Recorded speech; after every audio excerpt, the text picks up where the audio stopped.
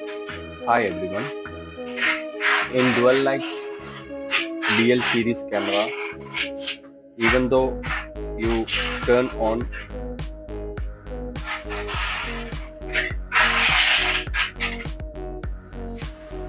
dual light function, it will not give you the color because the same time you have to go to VCA search and turn on intrusion detection.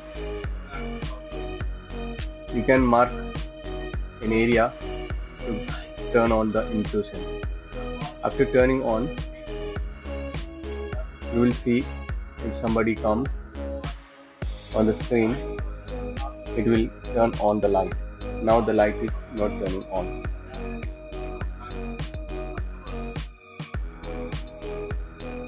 Now see, there's turn on and it